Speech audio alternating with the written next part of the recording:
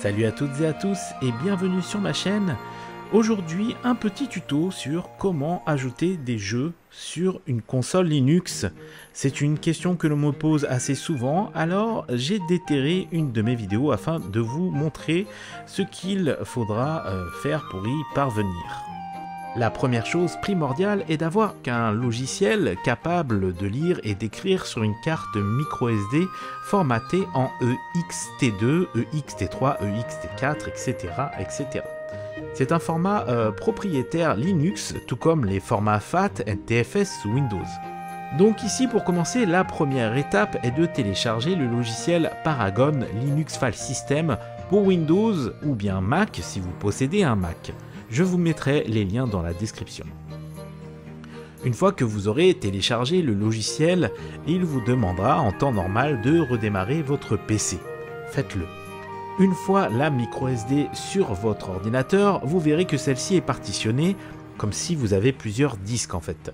Vous pouvez voir que euh, ce PC est capable, au travers de cette application, lire et écrire au format EXT. Sans passer directement par le logiciel, vous pouvez vous diriger vers l'explorateur de fichiers de votre ordinateur et constater qu'il y a également les différentes partitions visibles et accessibles. Je vais donc entrer dans la partition share et par la suite me diriger vers le dossier ROM.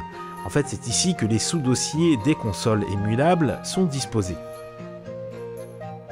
Je vais dans cet exemple ajouter un jeu Sonic sur Mega Drive. Pour cela, je vais voir mon ami Google et taper ROM espace Mega Drive espace Sonic 2. Pour faire simple, je prends dans cet exemple le premier lien, Planète Émue, je télécharge mon jeu, et une fois que mon jeu est téléchargé, je vais tout simplement le glisser dans le dossier Mega Drive.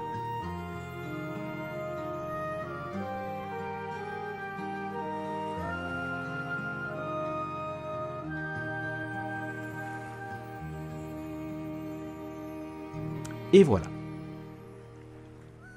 Super important, mais vraiment super important, n'enlevez jamais votre micro SD manuellement, il faudra impérativement la déconnecter logiciellement parlant. Donc pour cela, je vais sur ma partition Share, puis je fais un clic droit pour sélectionner Éjecter. Maintenant que c'est fait, le logiciel Paragon vous informe qu'il ne voit plus de micro SD et là tout est bon, vous pouvez enlever la carte. J'ai donc pris cette micro SD et je l'ai insérée dans la console et regardez, le jeu Sonic the Hedgehog 2 est maintenant bien présent. Il est présent mais il lui manque une jaquette. Donc si vous voulez l'image du jeu, continuez à regarder la vidéo, sinon vous pouvez jouer dès à présent. Bien, nous allons passer à l'étape de scrapage. En gros, le scrap, c'est la méthode automatique qui ira chercher les images du jeu pour vous. Je vais pour cela aller dans le menu en appuyant sur Start, puis chercher Scraper. Ici, vous voyez un serveur de scrap nommé Screen Scrapper. Vous devez pour celui-ci créer un compte gratuitement sur le site Screen Scrapper et si vous êtes pressé, vous pouvez sélectionner un second serveur comme ici The Game DB par exemple. Ensuite, vous allez tout en bas et vous sélectionnez Lancer le scrap.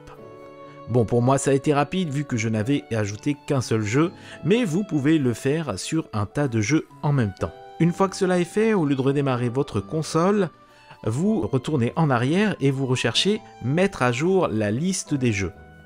Cela va faire comprendre au système qu'il va euh, devoir rafraîchir cette liste de jeux et de jaquettes que vous avez donc ajoutées. Et là, vous pouvez voir que mon jeu Sonic 2 euh, sur Mega Drive affiche désormais l'image du jeu. Voilà pour euh, le petit tuto. En attendant, je vous souhaite d'excellentes vacances d'été si c'est le cas. Et puis je vous dis à bientôt dans la prochaine vidéo. Ciao